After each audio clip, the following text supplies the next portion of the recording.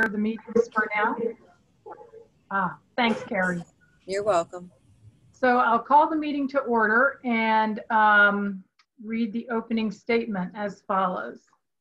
Pursuant to Section 13 of the Open Public Meetings Act, adequate no- notice of the time and place of this meeting has been given to prominently, excuse me, by prominently posting the 2020 resolution of the regularly scheduled meetings of the Planning Board of Princeton. A copy was filed with the Clerk of Princeton on the 8th day of December 2019. Legal notice on the adoption of said resolution appeared in the December 20th, 2019 edition of the Princeton Packet. Notice of this meeting has been filed with the Clerk of Princeton on the 8th day of April and has been posted to the municipal website, princetonnj.gov meetings, and choose the planning tab to view. Pursuant to Executive Order 107, due to the state of emergency in New Jersey regarding COVID-19, the coronavirus, notice that during the declared state of emergency, all regular and special meetings of the Princeton Planning Board will be held electronically via Zoom, was transmitted to the Princeton Packet, Town Topics, and the Times, and was filed with the Clerk of Princeton on the 8th day of April 2020.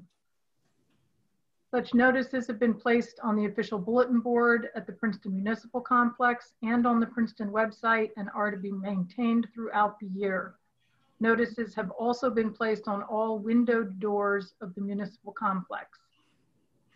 For members of the general public, please note that as with regular in-person meetings, members of the public will have an opportunity at specific points in the proceedings to comment and ask questions.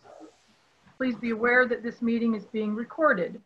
Those wishing to comment orally should virtually raise their hand using the button at the bottom center of your Zoom screen, or if you're participating by phone, by pressing star nine.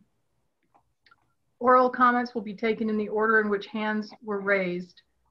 For those who do offer comments, we ask you please do your best to keep your comments to roughly three minutes or less, and that you activate the camera on your device so that the board and other meeting participants and attendees may see you.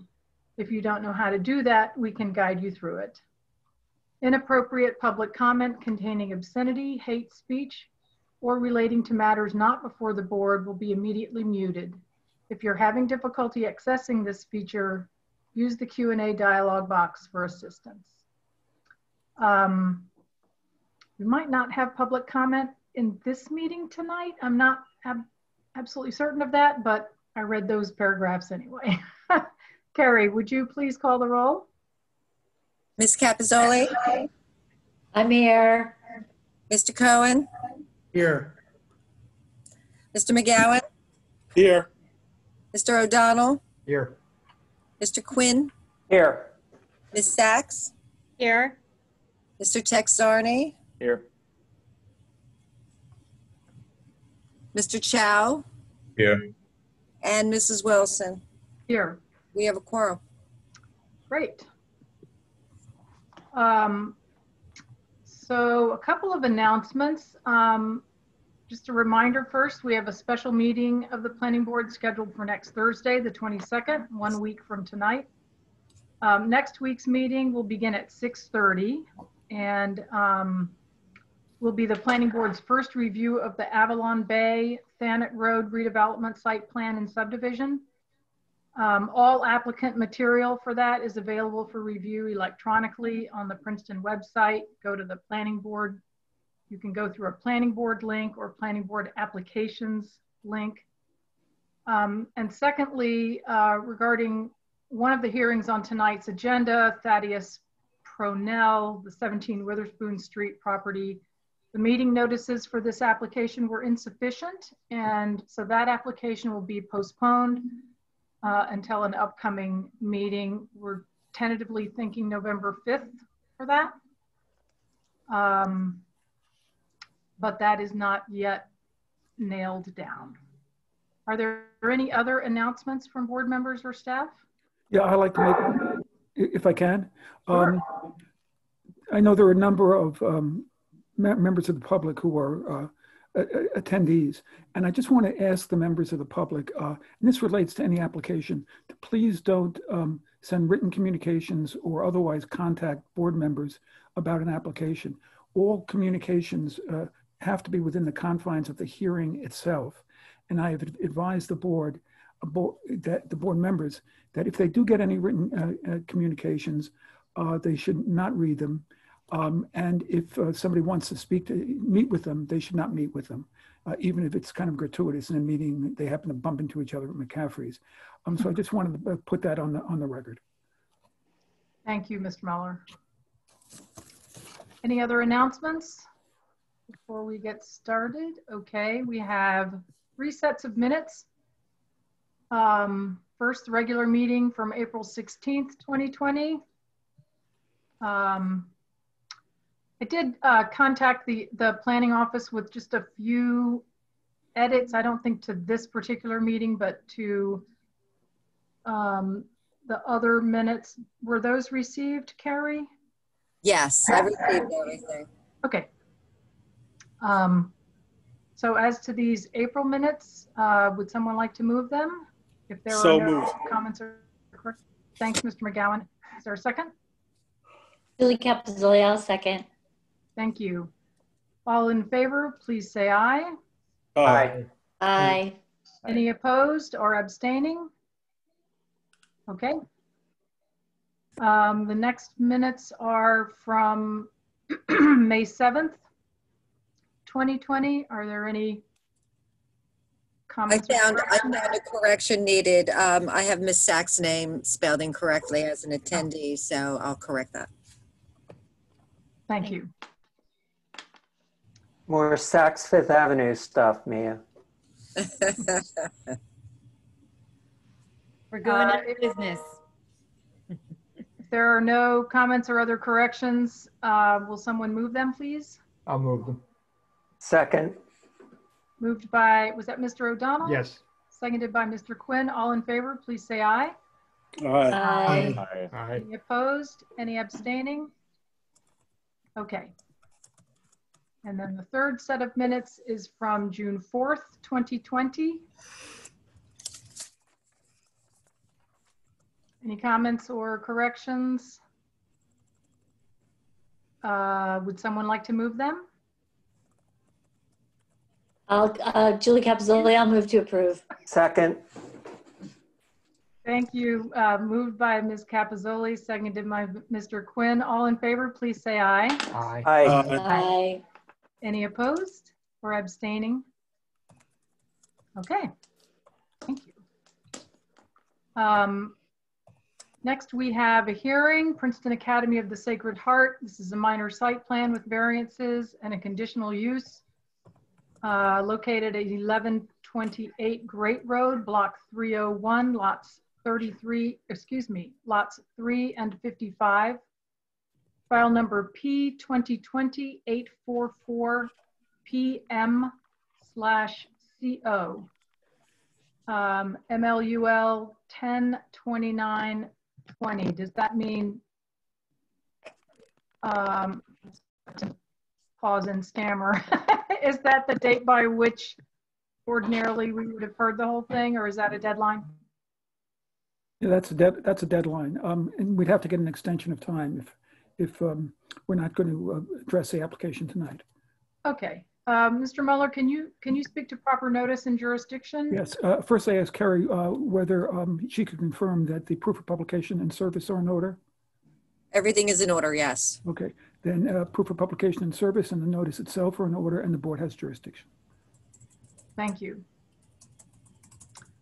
Um, Representing P- Princeton Academy? Or I Yes, I Madam guess I,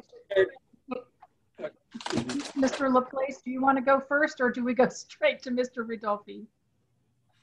I think in these circumstances, we should go straight to Mr. Ridolfi. Okay, thank you. Go right ahead, Mr. Ridolfi.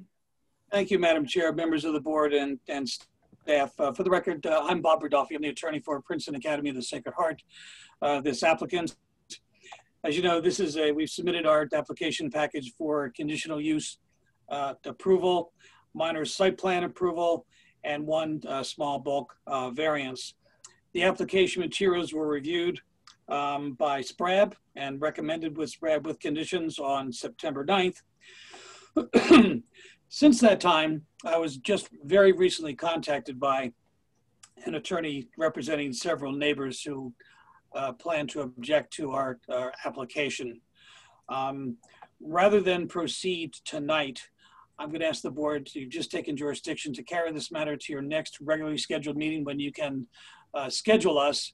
Uh, We feel, based on my conversations with the attorney, uh, and I also had a, a nice chat with the attorney for the um, Stony Brook Watershed, Watershed Association uh, late this afternoon. Uh, we would like the opportunity to supplement our application uh, with additional data and environmentally um, friendly um, mechanisms that we feel would uh, facilitate the, uh, the hearing uh, at a later date, rather than start tonight uh, with some of the uh, witnesses that I have lined up and then continue on at a, a second meeting, because I firmly believe that this is not going to, it's not going to be completed in one hearing. I think for cont- continuity's sake, um, I'd rather have you see all the data that we have submitted and then begin our presentation in a more orderly fashion. We also have one of our witnesses who unexpectedly is not available tonight to uh, help us with our presentation, and he will be available at your, at your next uh, meeting. So for those reasons, I would respectfully request that uh, you carry the meeting to your, whenever you can schedule us next, and we not be required to renotice or um, republish in the uh, Trenton Times that I have done already. Okay. Um, Ms. Phillip, do you have a sense of um, when we might have room on a future agenda? Um, I Because was looking everything over today and I do have a date we can consider. I didn't know if Mr. Ridolfi um, wanted something that is so far from today's date. We, we can put you on for a December meeting. We are really busy in the month of November and I don't think we can fit you in. So is December 10th acceptable? At the board's pleasure.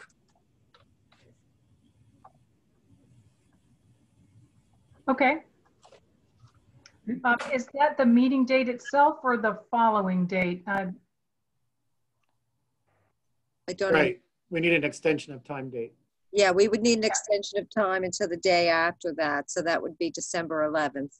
Okay, Would you provide, provide that in writing by email or just consent to it right here and now? I need something in writing for the file. So I can send you a letter tomorrow or you can just send me an extension right now. All right. If, if, if I may, just to advise the public then, the meeting is being carried to December 10th. There's not going to be any further notice. okay. Thank you. Thank you very much, everyone.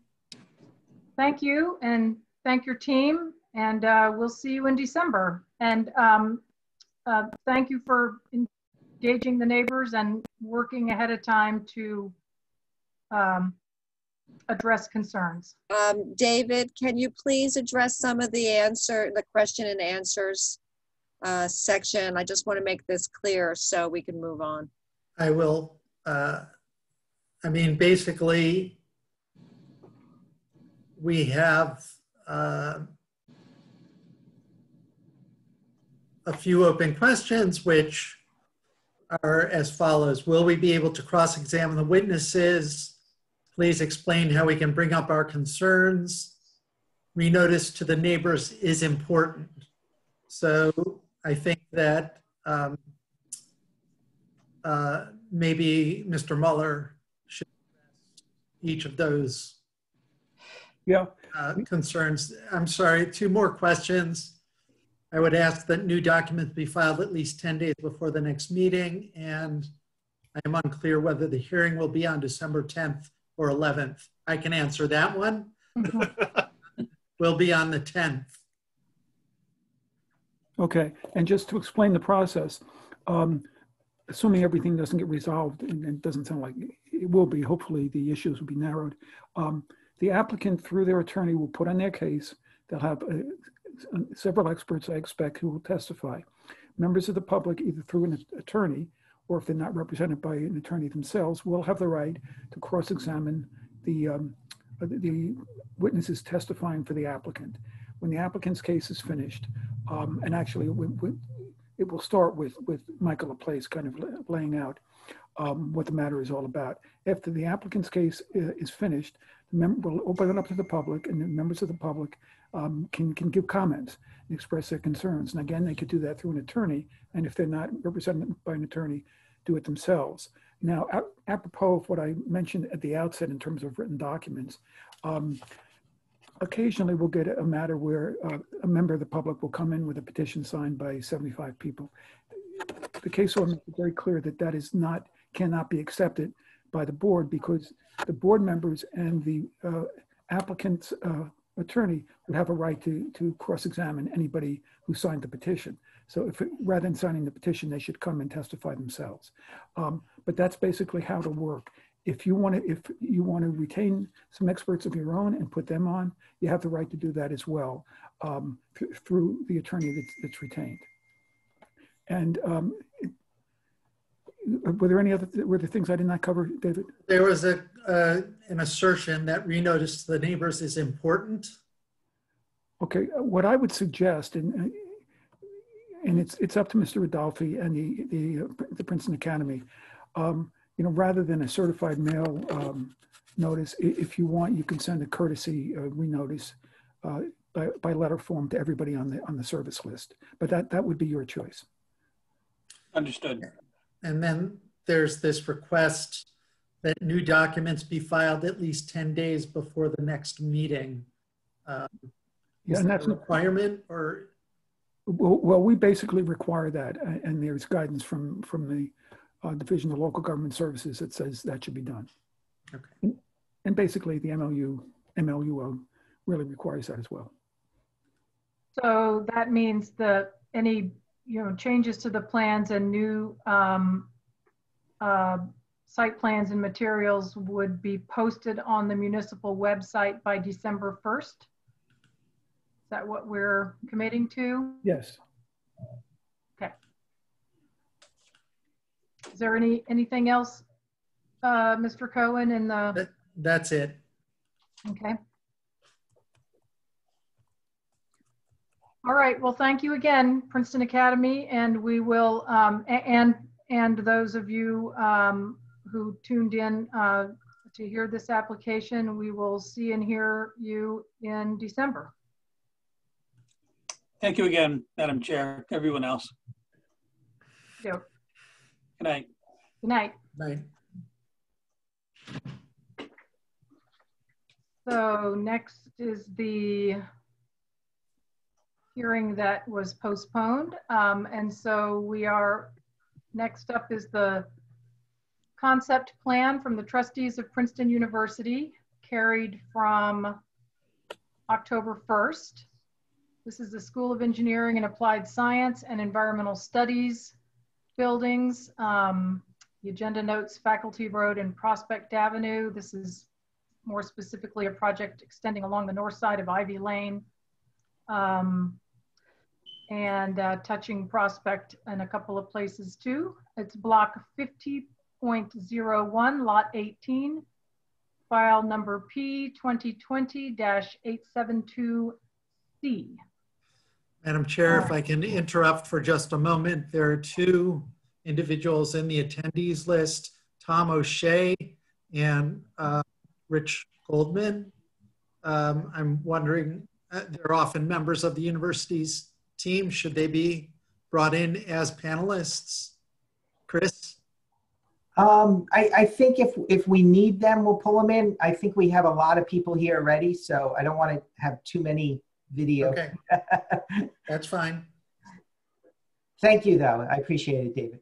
Sure. Mr. Laplace, do you have anything to say first or? Yes, I'll, I'll get us started this evening. Thank you, um, Chair. Yeah, And Um, and if I Oh, may, I'm sorry, Mr. Muller. Oh, yes. What I was, what I was, what I was going to say, because this is only concept review, it's not a formal hearing. I'm not, I- I'm not going to swear anybody in. But I'll still tell the truth, I promise. Absolutely. I always do. Me Okay. too.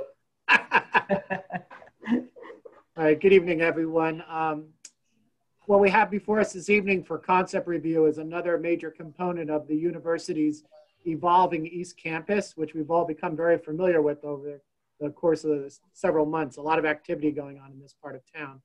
Um, It the site, um, as the chair had stated, is along the northerly side of Ivy Lane, and it'll be the new home to the environmental studies and also the School of Engineering and Applied Science. Um, if you can picture the site um, along the north, it's across from Princeton Stadium, and it's south of some of the eating clubs along uh, Prospect. And um, going from east to west, there's a building five Ivy Lane that would be replaced by this project, as well as a southerly section of the Ivy Club, which will be the subject of a subdivision. And then there's surface parking lots owned by the university. And then there's the um, Ferris Thompson Apartments. Those will all be replaced by this new complex.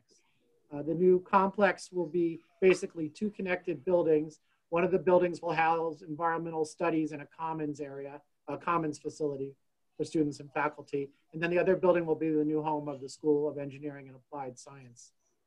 Um, it, the site is located both within the E2 education zone of the former borough and the E1 education zone of the former township, and it is permitted use. So I guess that sets the stage for what we're going to hear tonight, which is a concept review of what's going into this location. And I did want to note that the site is not within a designated historic district. However, it is just south of Prospect Avenue, which is um, an eligible historic district because um, obviously because of the architecture along that street and the uh, physical characteristics of the street itself.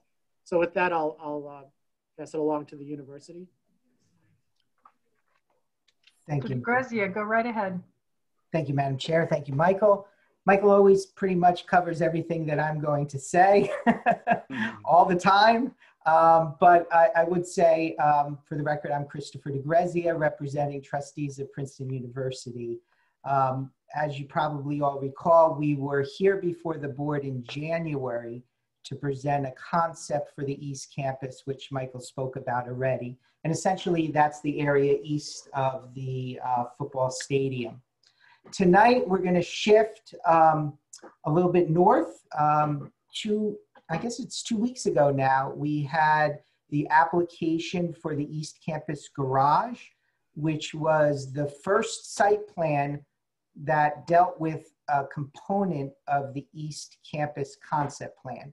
Um, during that hearing, we talked about a few things or alluded to what will be occurring just north of the site, such as the removal of some parking lots, a connector road, and as Michael indicated, this would be the area or the home for environmental studies and the School of Engineering and Applied Sciences. Um, so with that, I'd like to get right into the application, um, not the application, but because it's concept review, but right into the presentation. And I would like to invite up University Architect Ron McCoy, who I see on the screen. Yes, I'm ready to start. Uh, I need to be given permission to share screen by the host. Carrie, can you make that happen or is that within your powers? Just did it, thank you. Great. Thank you.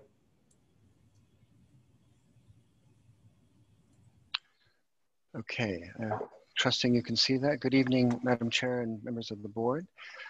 Um, so tonight we want to, um, as has been said by Mr. Laplace and by Christopher, introduce you to the uh, concept plan for the, the new neighborhood for environmental studies and the School of Engineering and Applied Science.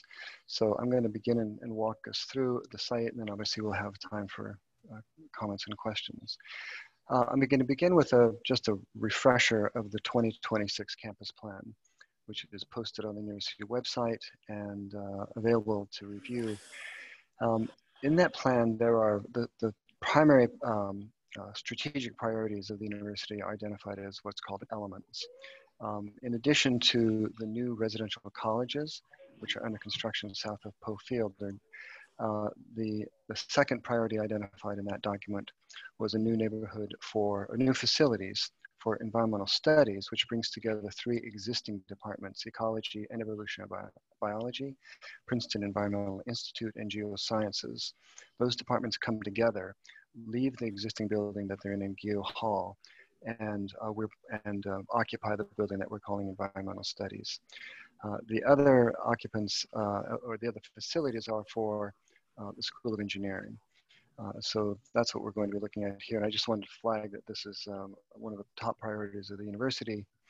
Um, and um, as with all of our all of our projects, the uh, can, the planning principles that are identified here uh, are broad, overarching goals that we try to we keep in mind as we think about the projects. And so these talk about the mission uh, to support our uh, environment of teaching, learning, and research. They talk about uh, maintaining, enhancing, and stewarding our distinctive sense of place. They talk about creating uh, welcoming and supportive settings for interaction and exchange, designing in, ways that are climate responsible, and serving the communities that extend beyond the, the boundaries of the campus. And all those principles you'll see at work uh, as we talk about this project. Uh, just a bit of the overview. So uh, uh the uh, site boundaries have been described by Mr. Laplace, and this diagram shows within that yellow dashed line the site for, for the project. I, I point out it includes Roper Lane. We'll talk a little bit about that.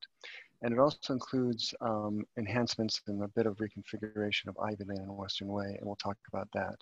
At the eastern border, it goes to the property line behind uh, the houses that are on uh, Fitzrandolph, in addition some additional houses that are behind, it's sort of a second layer behind some of that.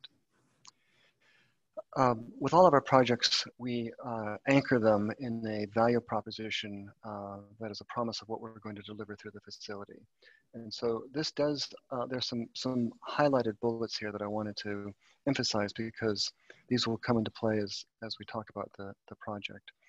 Um, it is a gateway uh, to a new neighborhood for environmental studies and the School of Engineering.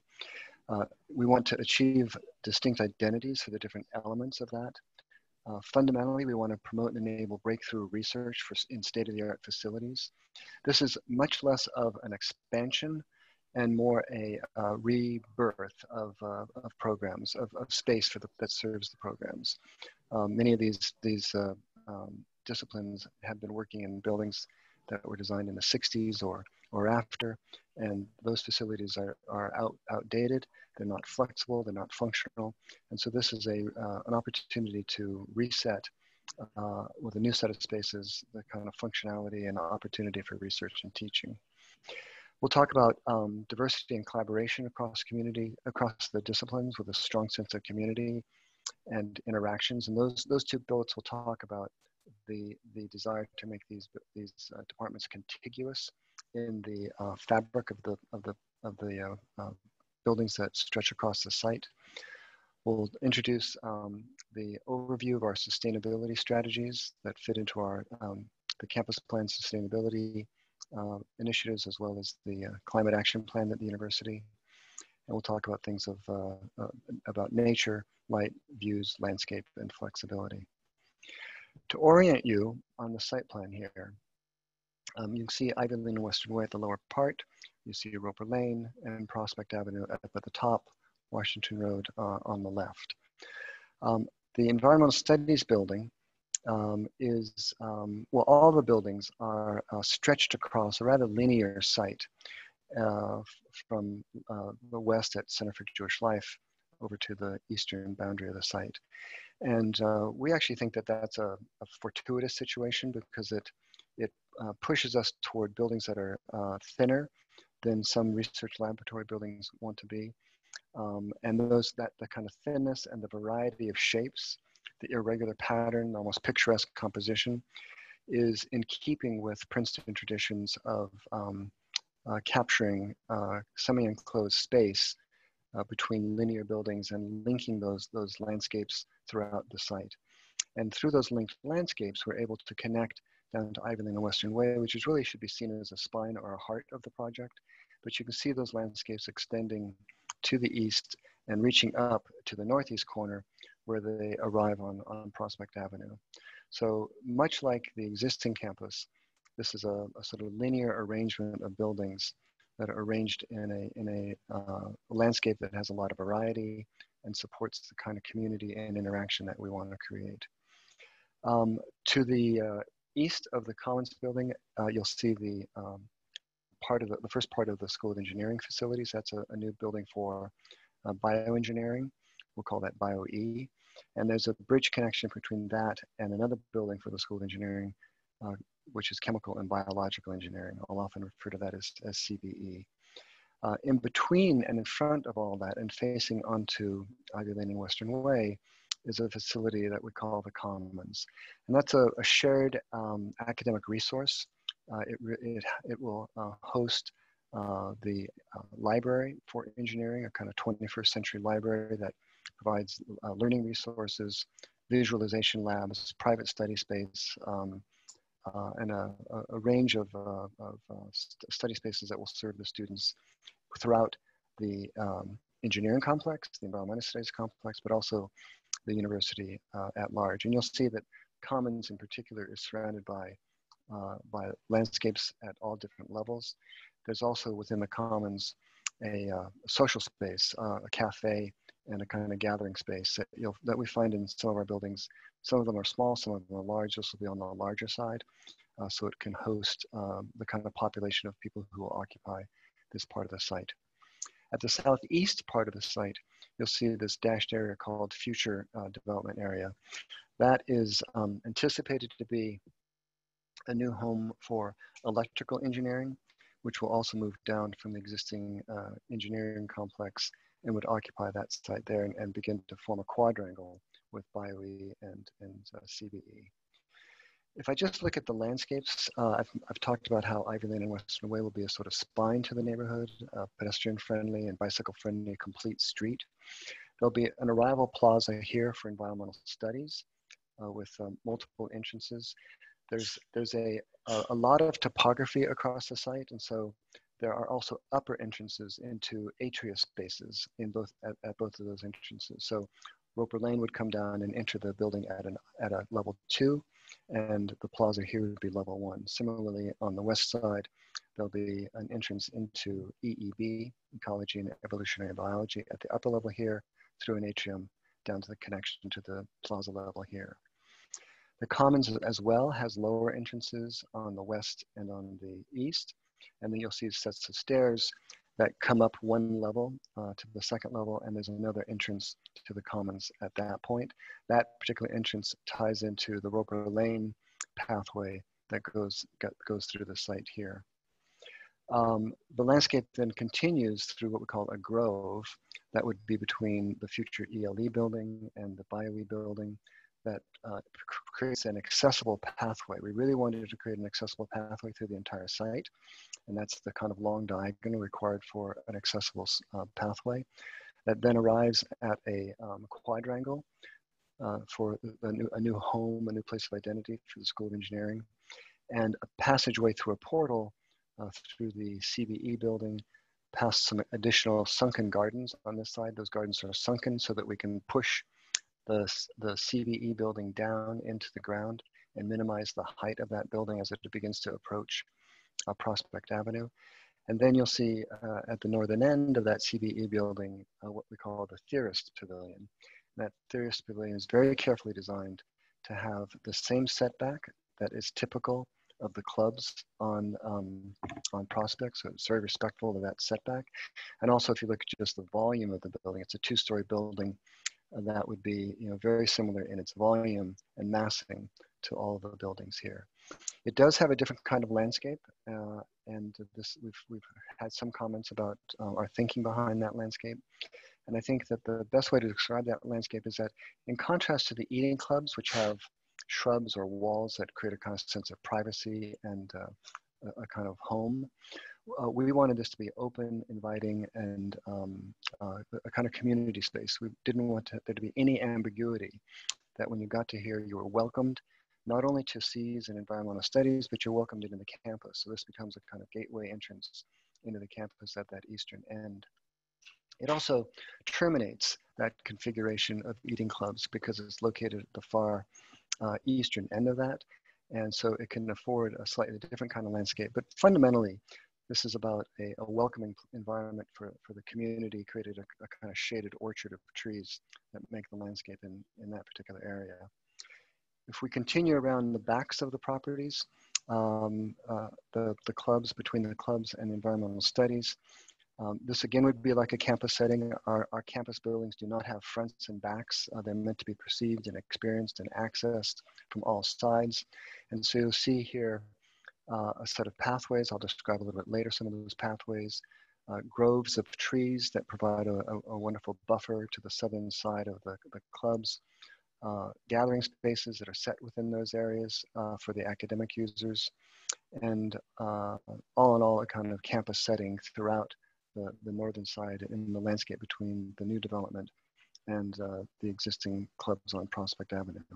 So that just gives you a little bit of thinking of the overall development of the site. I want to talk a little bit about circulation, uh, starting with vehicular circulation. We all know that Roper Lane right now is a uh, provides vehicular access from Prospect down to Ivy Lane. And we're proposing, we want to take that functionality of Roper Lane and relocate it to the eastern end of, end of the site.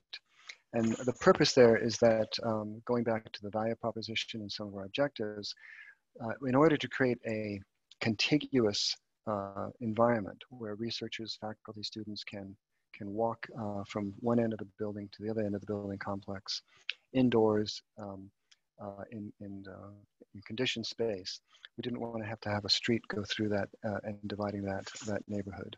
So we're taking the functionality of Roper Lane, moving it to the far eastern end of the site. It also has the advantage of enhancing the, the setback to the, the homes that are on uh, Fitz Randolph. And I'll, I'll show you later, we have uh, three rows of trees and a significant setback from that property line in order to, um, again, create a landscape buffer at, at uh, that edge of the site. What Roper Lane will become is uh, a limited access vehicular drive, but more importantly, a shared street. Uh, we think that um, this will be another campus walk for people who want to bypass uh, the project and head, head uh, in that area. Uh, for, uh, as all of our campus walks are for um, pedestrians and cyclists, and the limited access for the vehicles will provide access to the Ivy Club and to Cannon Club, which currently enjoy access from uh, the backs of their properties and that we're, we're going to maintain that access to the back of, of their properties. So this would be, uh, as I said, limited access, but really a kind of pedestrian friendly pathway uh, that we call uh, Leafy Lane. And the, the north-south connector, the other role that that plays is that provides a, a service entry to a fully subterranean uh, and shielded loading dock uh, that's also the waste transfer station for, for the site, but it's also a place, a place of deliveries. So that'll be the primary uh, delivery center for the entire complex.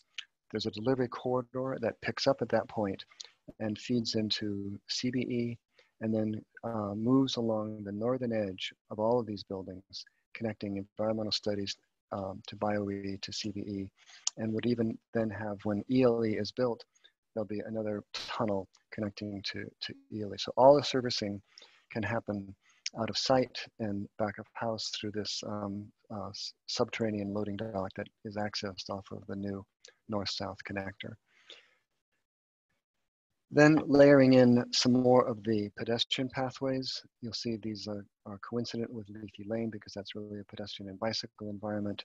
You'll see them continuing along the northern side of the site and then you'll see uh, the pathways that come through portals or between spaces between the buildings uh, or through atria here, as I explained earlier, creating a, a, network of pedestrian connections throughout the site. Some of them are fully public. You don't have to be a member of the university community.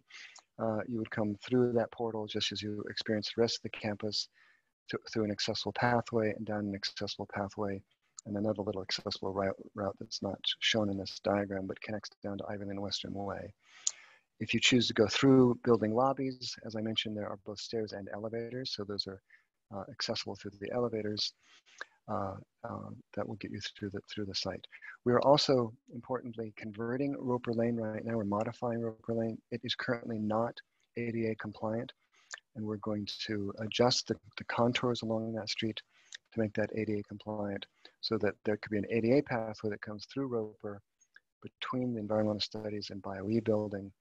Uh, there would be stairs uh, available at the that pathway, but also a disabled uh, pathway that comes to here, picks up on that diagonal through the grove, and then takes the, takes the accessible pathways down to Ivy Lane and Western Way. So we've been very attentive to those pathways and then you'll see they all been um, combined along Ivy Lane and Western Way to connect to the existing campus, which will feed into the network of pathways there or around the stadium and, and tie into, into the major pathways of the campus uh, in this area. So multiple entrances, a lot of porosity, a lot of connectivity, and really a kind of open and welcoming uh, part of the campus for the community. We will, uh, we're working with James Corner Field Operations. I think uh, you're familiar that James Corner Field Operations is the landscape architect for all of the projects that we're doing in this generation of uh, construction. And the landscapes are designed to um, continue campus traditions of, uh, of creating wonderful landscape settings for our architecture, places for people to gather, places of reflection, places that are uh, multi-seasonal, and uh, sort of inspire uh, learning and community and serve both um, uh, contemporary buildings uh, and historic buildings. So there's, there's, there's, a very nice landscape tradition that we're going to continue. And you saw that on that, that orientation slide that I showed of the overall neighborhood. Uh, if we look at a three-dimensional view of the site, um, this shows you the stadium in the foreground, Washington Road on the left, Prospect Avenue on the upper part, and the eating clubs. Uh, you'll see here, uh, here's that, uh, that piece of the CBE building that steps down to form a volume that's consistent with the volume of those eating clubs. Um, there's a significant change of grade, as everybody knows, from Prospect down to Ivy Lane. And so these buildings uh, are one level uh, taller on the lower side than they are on the upper side, which means they have less, less presence uh, at the backside of the eating clubs, which we think is, is, is an opportunity to take advantage of. And then on the southern side, you'll see this um, meandering uh, and rather picturesque form. It again um, breaks down the, uh, the building into a set of pieces that are smaller scaled uh, and more part of the tradition and of forms of buildings on the campus. And here you can see the Commons building, which is pulled out as a bit of a landmark or a beacon surrounded by landscapes on Ivy Lane and Western Way. Here's that arrival plaza for environmental studies, the diagonal grove that leads up to the uh, quad for School of Engineering, the future site for ELE at the southeast corner. Roper Lane comes through here. Uh, these are the connections through the atria that I talked about. So you can enter that atria on level two and go down to level one and come out here.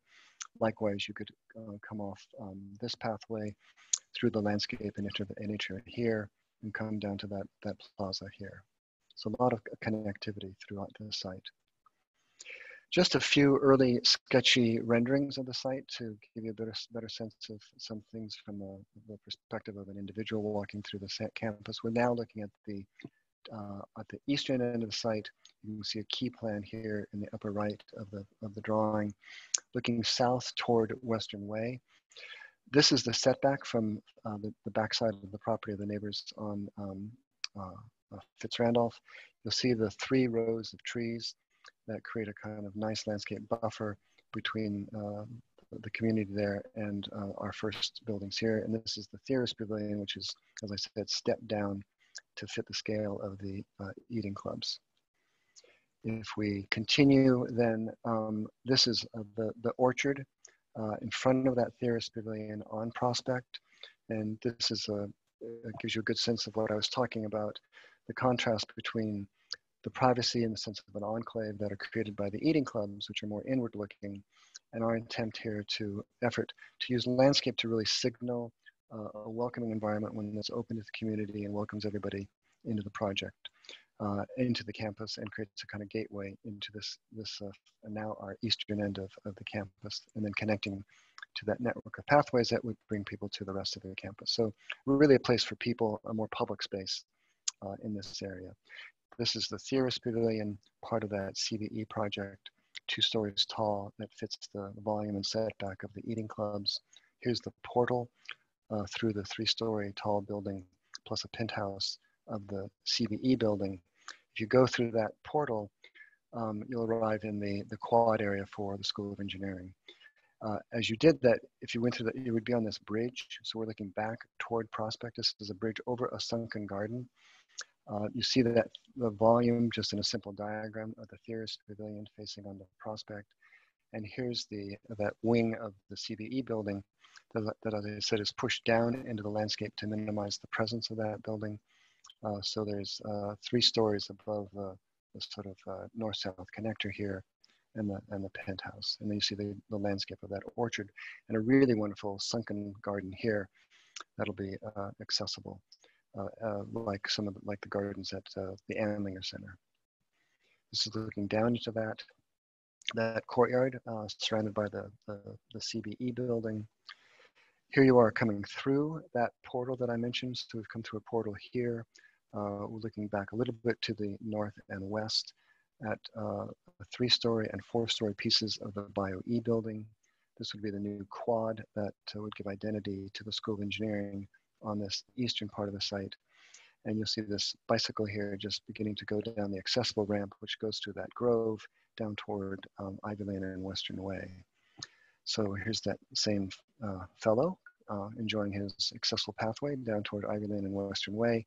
This pathway here peels off. This is the accessible route that connects to the new accessible Roper Lane, again through this landscape, down toward the stadium and Ivy Lane. To the left here is just simply a, a, a kind of placeholder for the position of the ELE building, which, as I said, would, is, uh, is a, a next phase of development. As all of those pathways arrive, both stairs and ramps. Uh, they arrive down at uh, Ivy Lane and Western Way here. You'll see the Commons building uh, here and a kind of mid-level plaza that gives entrance to the Commons and also to the lower level of the Bio-E building. And some early sketches of the transformation of um, uh, uh, and Western Way. We're really um, uh, encouraged by the opportunity to keep the building open to the public, but create a, um, a shared street, a complete street with, with advisory shoulders. Uh, we will control the speed limit on that. We really want to make it a, a, safe environment. So we haven't set the speed limit, but it's probably closer to 10 or 15 miles an hour. So that the, there's very limited traffic that uses that street, particularly with the relocation of the parking garage and the removal of all of the parking lots on the street. And so we really want to create a kind of welcoming environment on, on that street. And here's the, again, as I said, the kind of uh, beacon of the uh, Commons building that uh, is featured on, on Ivy Lane. Um, now I'm going to take a step back and show some of the sections to this. I talked about the, the topography. This upper section shows uh, at the left here Prospect Avenue. This happens to be taken through a Cottage Club.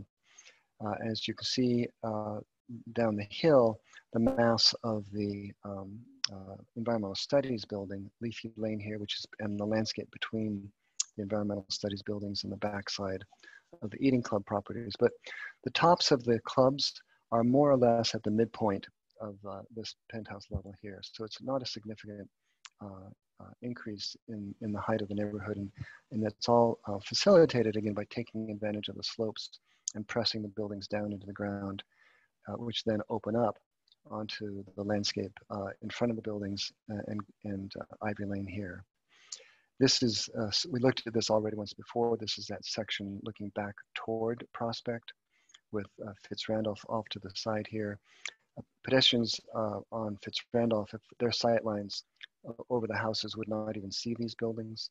So they're, they're well protected from the visibility from Fitz-Randolph there. This now coming back into some of the views through the, through the site.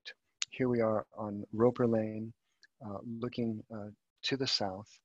Uh, as I mentioned, we're making Roper Lane fully accessible now with uh, the bioengineering building on the left, the environmental studies building on the right, and this is the pedestrian pathway that would come into the commons building.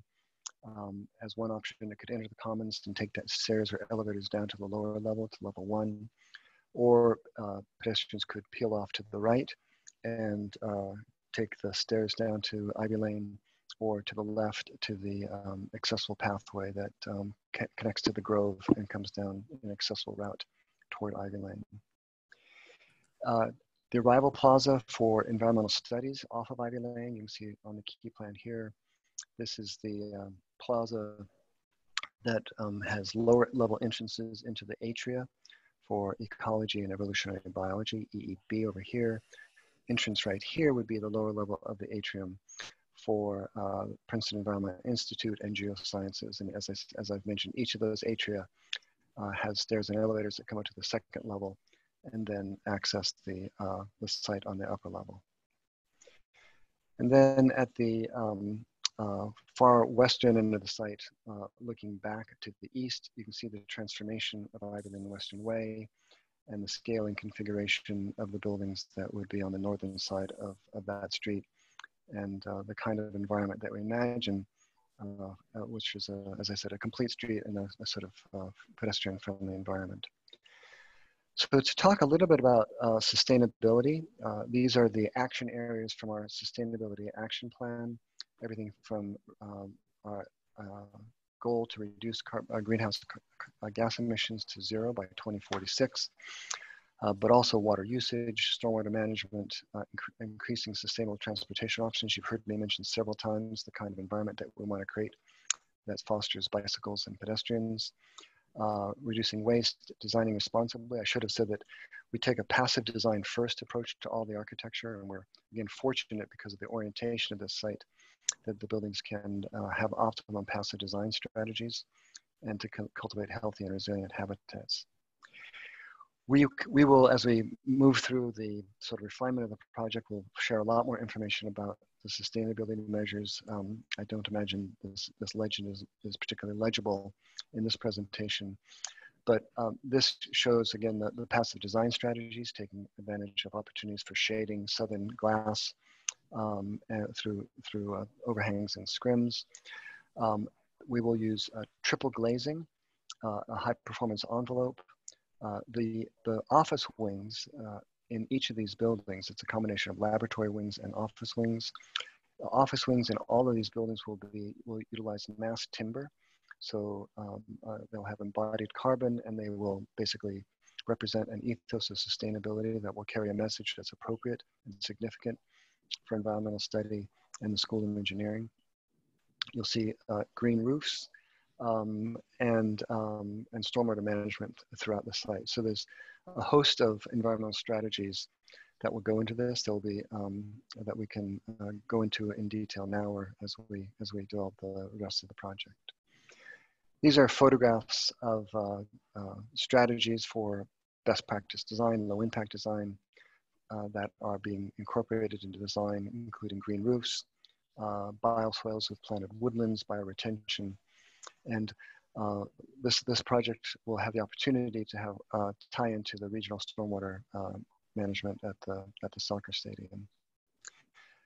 So that is, um, I think, the final slide in the presentation. Um, and uh, so I hope this is a thorough introduction. We're certainly, we have a, a number of members of the, of the team here who have a lot of expertise and we're um, available to answer any questions that you might have about the presentation. I'm gonna stop sharing my screen just so that we can all see each other and then I'll go back and pull up images or plans um, as needed. Sounds good. Um, wow, that's a lot to take in.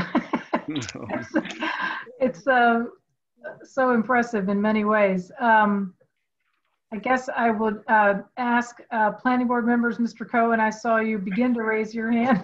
yeah. um, please, please go I, ahead. Yeah, I'm always impatient. I get my two cents in. I actually love this project. I think it's very, um, very beautiful and uh, responsible. And um, but I do have a, just a couple of questions. One is the uh, residences that are along the north-south connector. Are those owned by the university? The ones that are closest, not the ones that are right on Fitzrandolph, but the ones that are closest. Uh, one of them is a head of college house for the university, and the others uh, are in our uh, faculty ownership program. Uh, so, you know, they are, they're owned by the faculty technically, but in an mm-hmm. arrangement mm -hmm. with the university. Okay. And the other question I had across from the, the plaza that's semi-enclosed by the um, environmental sciences building, there's an existing low rectangular building. I can't remember what. That's astrophysics. That's okay. astrophysics building. Yeah. Um, to, to, me, it feels like it's uh, the recipient of a lot of pressure to sort of keep up? Mhm, Yeah. It's- it's- That's, Do you that's think that's going to continue there? Do you think it has the presence to um, occupy that, that space across from the plaza there? Uh, If you look at our 2026 campus plan, which looks out 30 years, that site is identified as a future opportunity site, a site of transformation. Um, It's inevitable that as um, the campus evolves, um, so that we avoid sprawl, that we have a little bit higher density. And the astrophysics buildings, of you know, a one, one, one story with a, a sort of semi basement. And um, uh, we would imagine that that would be a, an opportunity site. Uh, so it's not that one story building will not would not be there for, you know, I don't we haven't put a date on it, but that's not going to be a long term building. Okay. And so this this neighborhood will change. Um, uh, there are future growth sites on the south side of Ivy Lane Western Way for the other elements of uh, the School of Engineering that will move down to this neighborhood. Chemical and biological engineering will move down eventually. Um, uh, mechanical and aerospace engineering, aeronautical engineering will move down to this to this neighborhood, and so there will be more more development. All that is indicated as future development in our in our in our uh, 2026 uh, campus plan. Okay. I have nothing bad to say.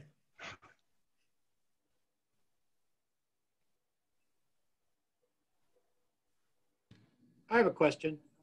Sure. Um, it, it goes to the type of architecture that you're thinking about for the site, the actual materials and that sort of thing, how buildings will be expressed. It seems from these re- early renderings that it'll be mostly glass and uh, metal and some more, a very contemporary, almost corporate look. It kind of reminds me of some of the more, the newer buildings around the ellipse over on the, you know, east, uh, west of Washington Road Mhm. um, some of the laboratory buildings. Is that Mhm. the nature of this? Will there be any sort of more traditional materials, or will that be in the landscaping or in how the plazas and green spaces are designed? It's a, that's a good question. I think um, I think you're right. This will be a, a contemporary building. We'd like to say that most of the most of the campus buildings are of their time, particularly when you think about uh, research buildings. Um, we are struggling with uh, Guyot Hall, which is a collegiate Gothic building that's been abused as we've tried to squeeze modern research into that building. Um, but but other than that, as one exception, uh, our research buildings our contemporary buildings, started in the 60s and continuing to today. And so this would be would be in that tradition. I would say that what we've learned, what the campus has learned over time, what architecture has learned over time, is that contemporary buildings can be much better neighbors.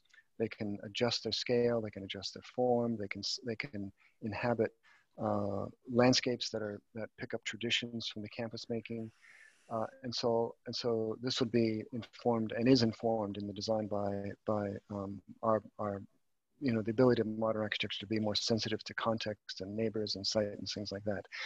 Uh, more specifically to your point, uh, there there are um, uh, the, the buildings to have a stone base that is picking up the tradition of uh, schist stone, which is part of the campus tradition. So there will be elements of stone um, very, very prominent at the ground level of the buildings.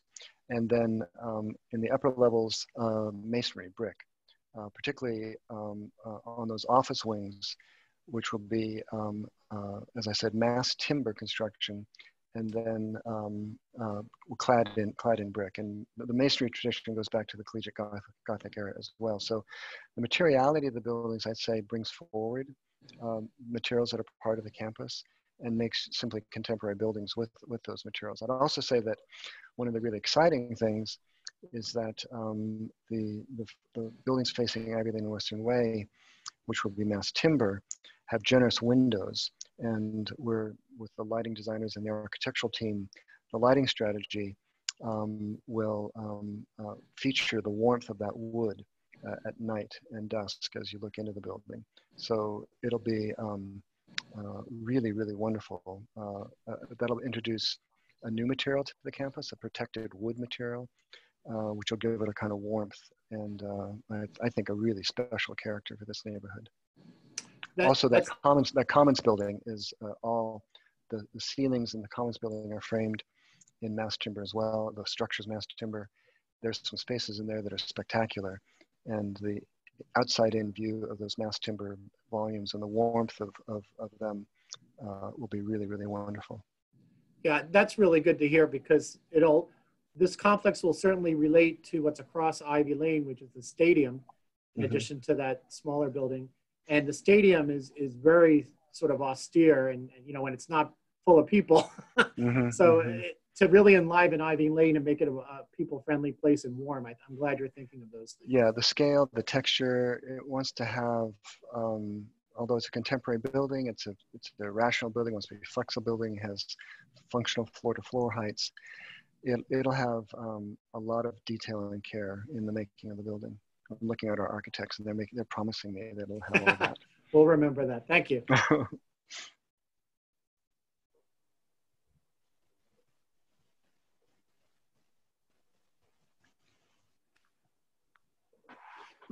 Louise, I don't think we can hear you. I can, I can see your Oh. lips moving, but I cannot hear you. Now we can. Yeah. Now we Oops. can. Oh, shoot. We heard you for a second. Well, I've been having trouble with my audio. That works. Now you're, Yep. now I can. Yes, We can hear you. yes, yes. Um, Can you explain um, more about the term and uh, mass timber and what that, what that means, how that plays out? I'm just not familiar with it and I'd like to understand it better. I'd love to explain it, but I'm going to give um, our architects. Emily, do you want to take that question and uh, uh, give an answer? Sure. Um, so with, uh, with laboratory buildings, we have a lot of requirements for the structure. However, for the office part of the structure that doesn't contain the actual research labs, um, we were able to look at um, using mass timber, and there are a couple of different uh, types of wood construction that that entails, but what we're using are uh, wood columns, and uh, then a system called a dowel laminated uh, floor panels. So they're um, pieces of wood that are placed like this next to each other and then laminated through with dowels. So they become a, a thick wood sandwich.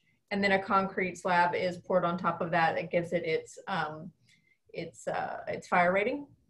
And so it functions a lot like a traditional steel with concrete slab on top of it, but uh, it, it sequesters carbon and it also is its own material. We don't have to uh, fireproof it and we don't have to wrap it in drywall and paint it and things like that. So uh, throughout the building, you'll see um, exposed columns that will be wood. So even though you're in a lab building, it'll have that warmth um, and that sort of materiality. Um, we thought that was very important for the environmental studies building, but we also think it's really important for the biological engineering building and the, the chemical engineering building. You know, this is important for everybody, no matter what your, your research uh, uh, focus is. So uh, we're very excited to be able to, to bring this in. You know, it'll be in the offices. You'll see it from the from the street as Ron described, and uh, you'll just have that um, close association with the natural material throughout the building.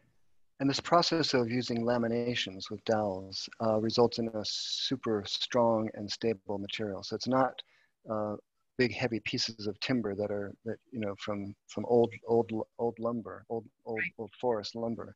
These are uh, sustainably uh, forested and uh, into into laminated layers.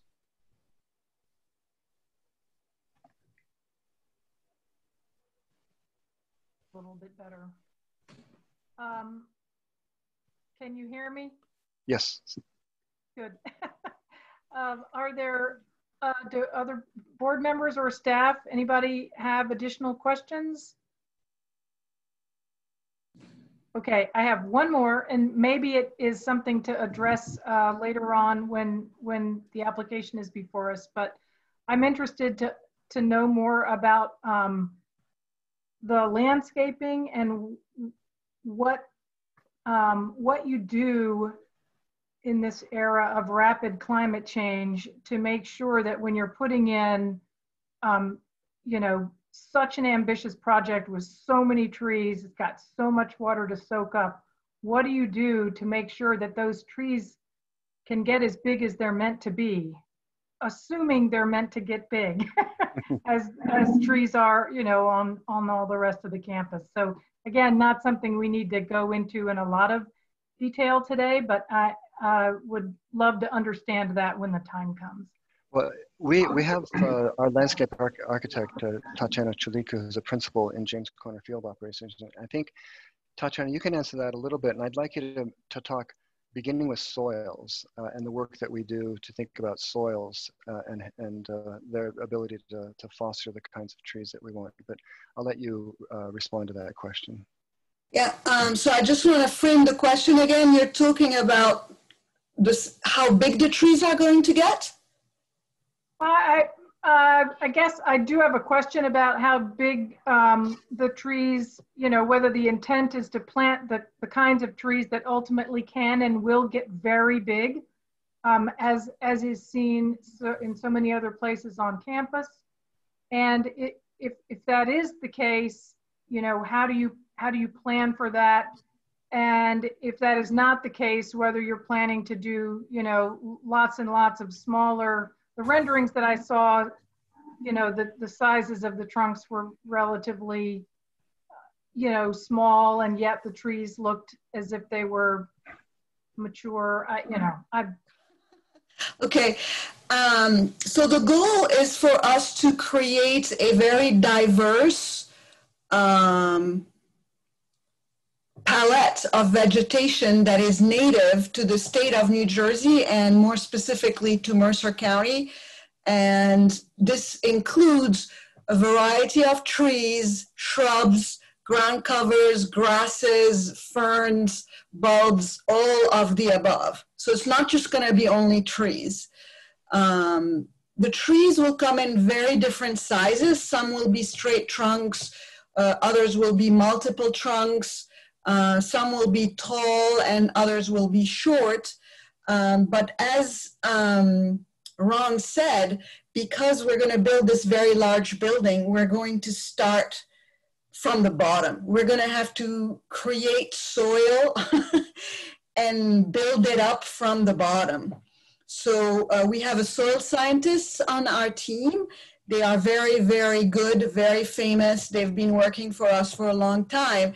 And what they're, they're doing is all the soil that is being stripped from the different sites under construction, they're going to take that, they've been analyzing it, and then adding what is needed to it, such as organic matter or whatever, sand, so that it's um, it can support life, very healthy life for a very long time uh, keep moisture in it, etc. And so this all this native vegetation will grow well, healthy, and then will provide habitat as you as uh, uh, Ron listed in the uh, sustainability action plan. That's a big goal of the university, and the landscape is the place where habitat will be provided and provide diversity for all sorts of wildlife and plants and provide shade in the summer and sun in the winter by dropping the leaves, which is typical to the native um, ecology of the region.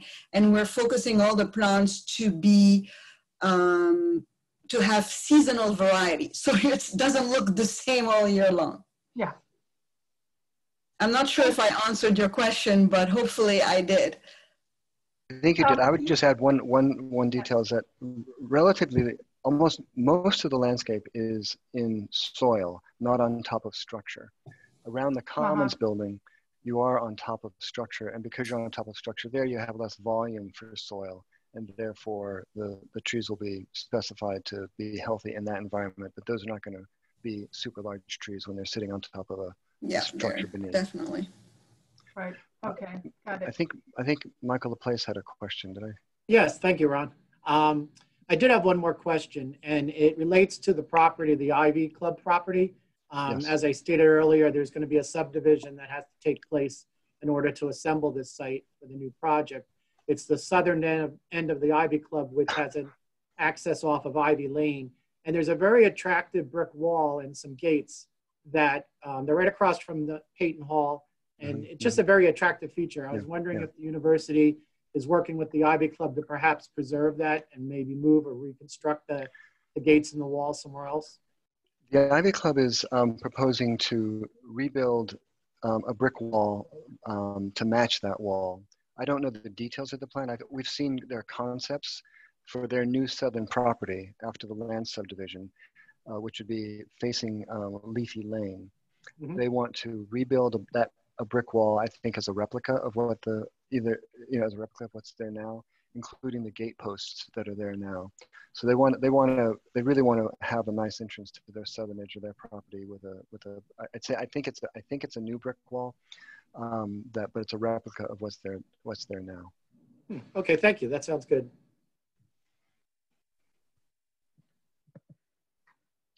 Okay. Um, are there any other questions? Do we, I don't see that there are questions in Q and A. Um, and um, can't say that I know for sure, David, you're muted. I can't say that I know for sure whether with the concept plan we take comments from the public anyway, but I don't see that anyone. There's one hand raised, please. Ah, okay, excuse me. I'm not seeing that. Clifford Zink. Do you want to? Uh, Hi, can you hear me? Yes. Uh, I can Yeah. turn, uh, I'm not I'm- I'm Clifford. I'm going to bring you in as a panelist because uh, Jerry, our attorney, likes to have likes to see your face when you're testifying. see if you can see my video.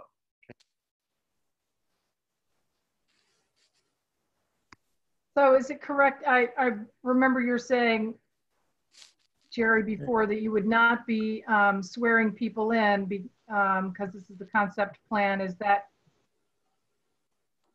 I have that right, correct? That's, that's correct. And what we traditionally do when there are concept plans is we certainly let the public uh, speak if they wish. Okay, great. Thank you. Uh, now I've lost you on my screen, Mr. Zink. Uh, I can see It's myself, on the second. Here. Go right ahead, please. I can see myself at the top. hmm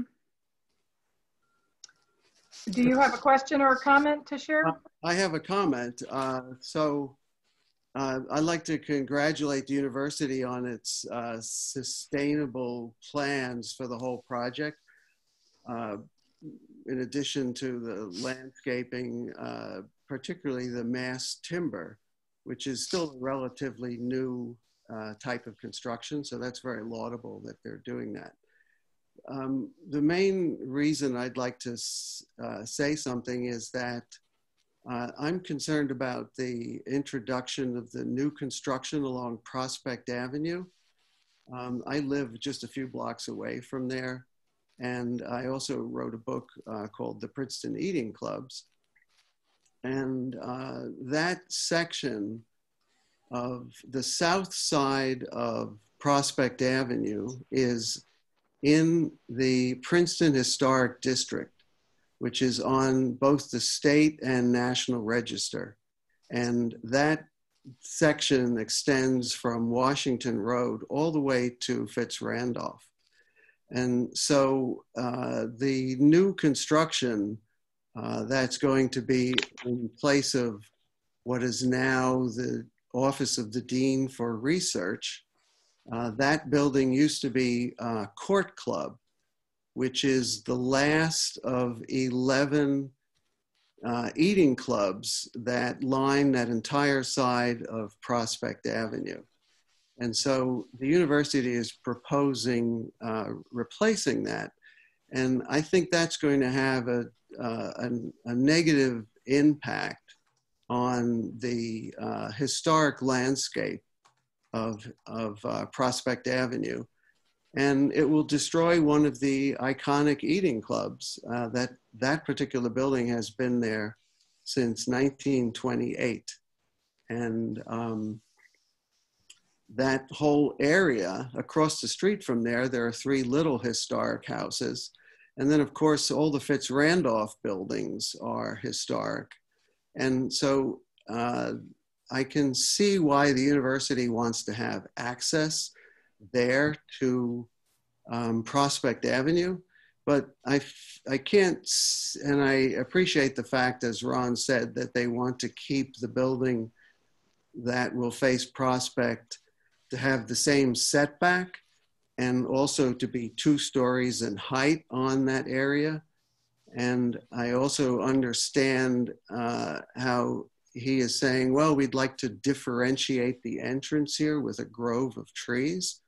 But uh, I don't, th- I think the way it's designed right now will have a negative impact on the historic character of that end of Prospect Avenue. And um, the town of Princeton back in the 1990s uh, undertook a study to uh, to designate the entire strip of Prospect Avenue along there on both sides as a local uh, local landmark.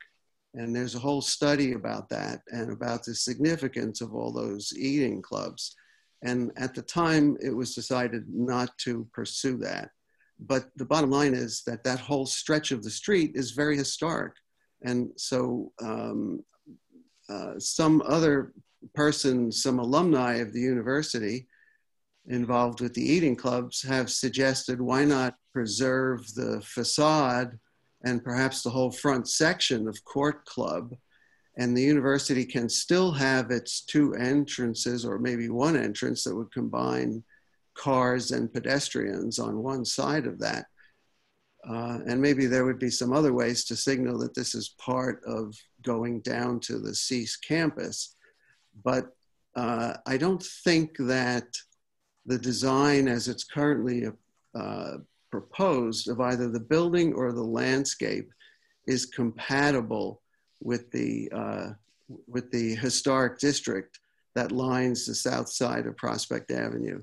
And I'd like to ask the university to take a further look at that and seriously consider preserving uh, Court Club as part of the uh, as part of the historic landscape of that entire street.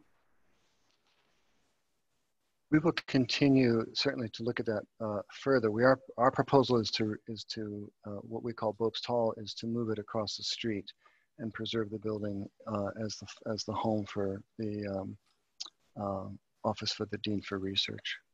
So, so Bobst Hall is the one that's adjacent to it. I don't think you're you, you want to preserve Bobst Hall, yes? Yes.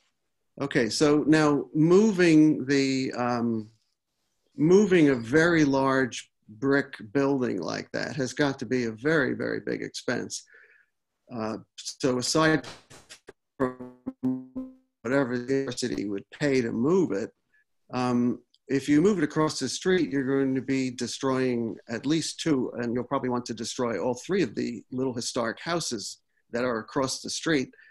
And I ask, I would ask people on the planning board to take a ride down there and walk around there and look at the historic landscape there.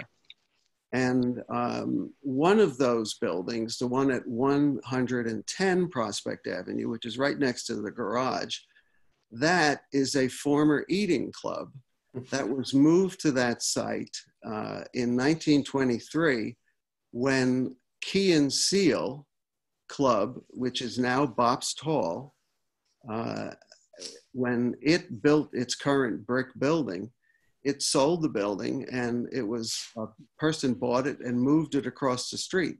So that is another historic eating club. And so if you move uh, what was Court Club or the Office of Dean of Research now, if you move that across the street in an effort to save it, you'll be destroying um, another historic resource in the town. And I think the, you know, the eating clubs are a unique set of buildings. There are many fraternity houses in many uh, college towns all over the country, but Princeton is unique and it has all these eating clubs lined up in one row and the development of those buildings uh, over 30 or 40 years, 100 years ago, um, what we see now is um, is really, uh, you know, it's it's an iconic representation of of um, undergraduate life at Princeton, and it's a very important uh, streetscape for the city, for the town of Princeton. And so I think, um, I, again, I think the university should should reconsider introducing, uh, you know, a new design, which in my opinion is incompatible with the historic character, and it really doesn't meet the guidelines of introducing new construction in historic districts, uh, such as this one, which is on the National Register. Okay. Uh, we'll, we'll also do some research about the, the designation. I don't think that's a, these buildings are on the National Register. If if you'd like to um, share, could I share my screen? Is that possible?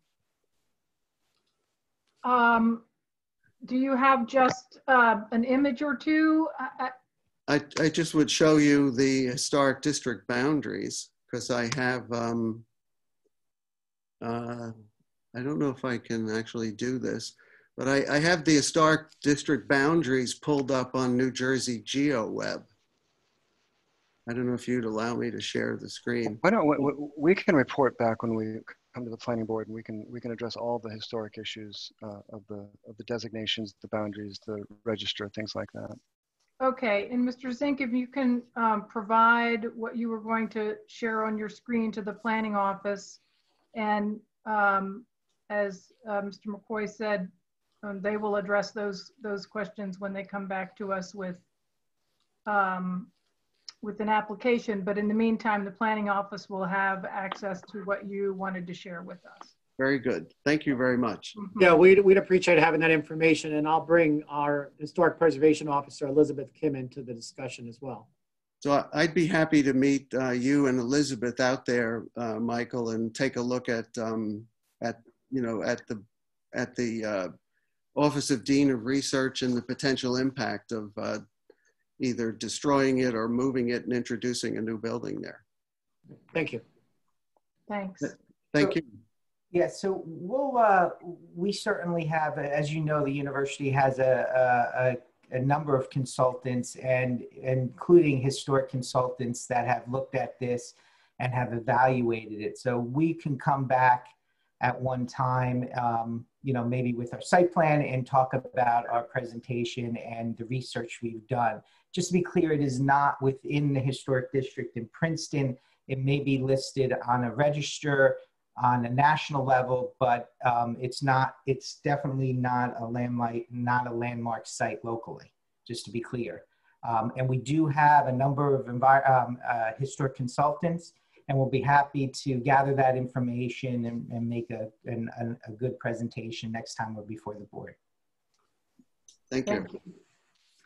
Mr. Cohen, is anyone else uh, in line to ask questions No or? no other hands up. Okay. Um, well, as always, thank you, um, Mr. DeGrazia, Mr. McCoy, and the whole um, university team. Um, it- does the, do members of the board or staff have any other questions? Okay. Then I think I could entertain a motion to adjourn. Moved. Second. Thank you very much for the opportunity to uh, present our plan this evening. Thank you. Thank, Thank you. you. Thank you. Thanks Bye-bye. very much. Good night, everybody. Good night. Good night. Good night. Good night. The next week.